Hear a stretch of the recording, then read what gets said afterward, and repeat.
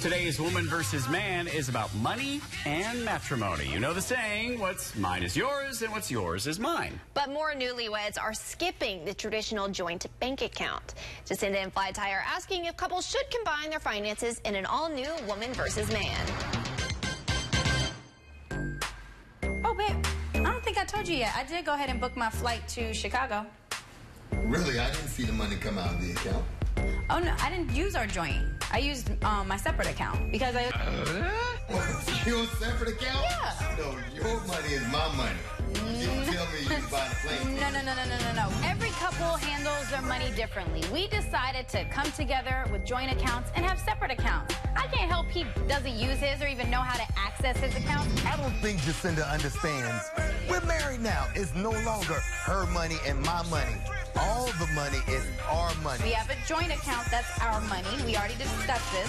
Separate accounts, that's my money, my account. No, no, no, no. Doesn't, that doesn't affect you. Listen, I don't care if you have your separate accounts. That's still my money. matter of fact, let me look at your account to see how much money we got. He is tripping over here wondering how much money is in my account. That's my account, that's my money. When you're married, everything comes together, including your money. Let me see how much money she has in her account. What? Oh, I'm going shopping.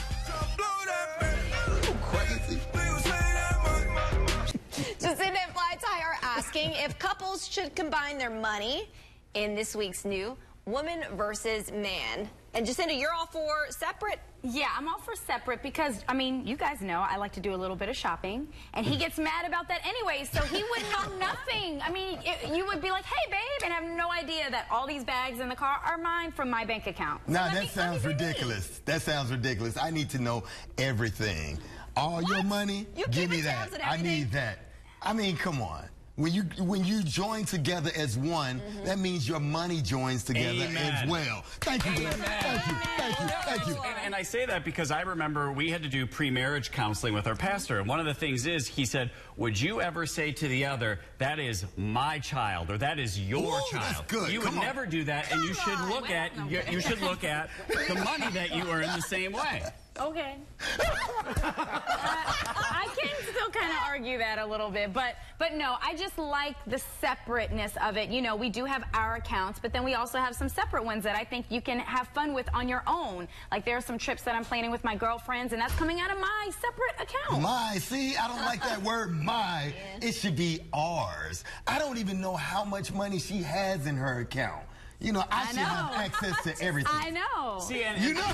like to that. me, that just leads to trust issues, I would think. I mean, he has access to them. He has access I to do. all the accounts. He, if he chooses not to know what the balance is, that's on him.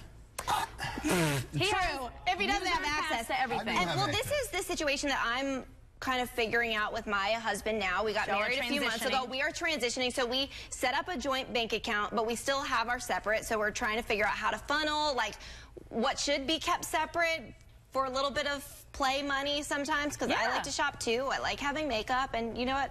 I I understand having a little bit of a lump sum in your own account. Two words, And you never know what's going to happen either in the future. Two words for you direct deposit right into that joint account. See, because here's the thing. What I, I like having the joint because then we actually have conversations about money. I mm-hmm. actually know what is important to her and what's not important to her. And then we think, okay, what are our goals with our money as opposed to you've got your own goals with your money over here and I've got my own goals with my money over there and they, they might not But yeah, we have our own goals. We definitely Yeah. have our own separate goals right now. But I handle all the um, finances, so he, every day I come home, there's something new with landscaping, something new in the backyard. I'm like, where is this money coming from? What are you doing?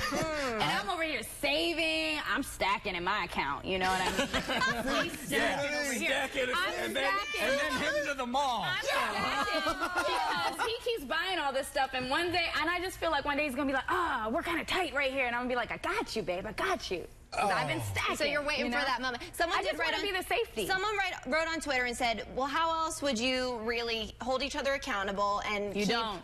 you don't. what I mean? You just trust. it's a no-win fight. It's a no-win fight. And the well, the paper you trail can just is file smaller. bankruptcy. Don't worry. No! Don't say that. I rebuke that. Yeah, but what do you think about this? What's the right way to do this? All of our financial advice. Listen to us. 743. Let's get you updated on your weather-wise forecast. Thanks, Fly Ty and Jacindy. Jacinda, as always, a an interesting conversation from all angles.